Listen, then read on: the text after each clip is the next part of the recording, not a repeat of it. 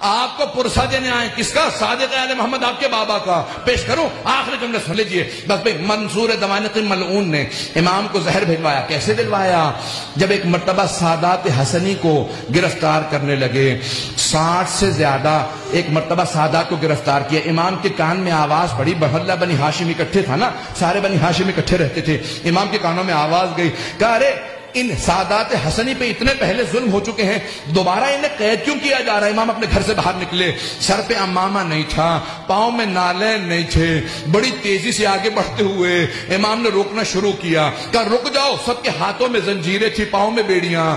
بنی ہاں بنی، عباس کی فوج تھی، سب کو دستگیر کر کے، گرفتار کر کے لے جا رہی تھی۔ امام نے کہا، رک جاؤ، بنی، ان امام حسن مشتبہ کی نسل پہ بڑے ظلم ہوئے ہیں۔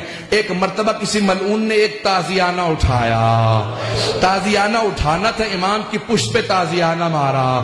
امام کا کرتا چاک کیا اور دوبارہ دو تین تازیانے مارے امام زمین پہ آئے۔ اس وقت امام بزرگ تھے، بس پہ میں اس سے زیادہ نہیں پڑھ سکتا۔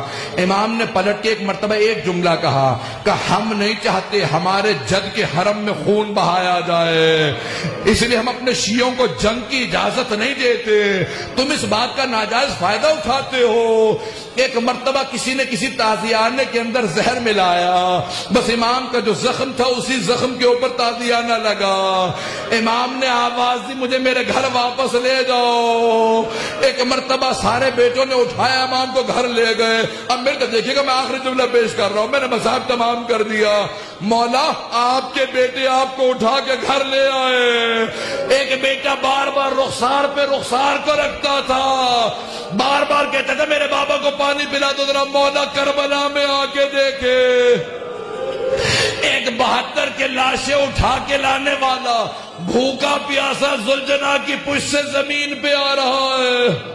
الا لعنت الله الى القوم الظالمين وسيعلم الذين ظلموا اي منقلب ينقلبون بس بھی وقت نہیں تھا کہ میں تفصیل سے پیش کرتا، ہاتھوں کو بلند کریں گے، دو جملے دعا کے پیش کروں گا۔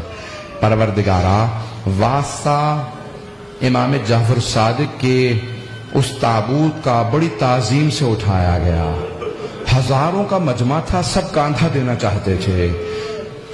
ہاتھوں پہ تابوت چل رہا تھا۔ کہ ایک مرتبہ جنت البقی تک پہنچا۔ امام موسیٰ قاظم علیہ السلام نے بڑی تعظیم سے شان و شوق سے کہا، ہٹ جاؤ، میرے دادا کے پہلو میں میرے بابا کی قبر کو تیار کرنا۔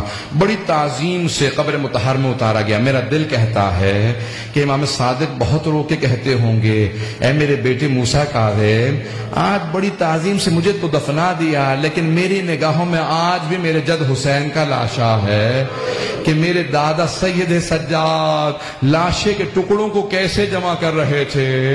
پروردگارہ، سید الشہداء کی عظمتوں کا واسطہ، امام صادق کی عظمتوں کا واسطہ، دنیا میں امام زمانہ کا ظہور متاجل فرما، ظلم کا خاتمہ فرما، داعش کو طالبان کو غارت فرما، آل سعود کو علیہ کو غارت فرما، مومنین کی حفاظت فرما، ربنا تقبل منا انك انت السميع العليم بحق محمد وآله الطيبين الطاهرين المعصومين